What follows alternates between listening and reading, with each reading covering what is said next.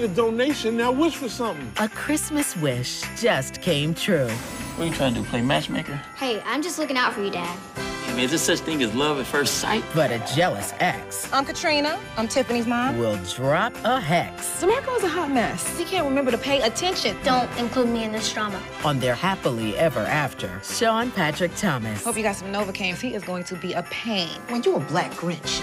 Merry Ex-Mas, Saturday, December 10th at 8 on TV One.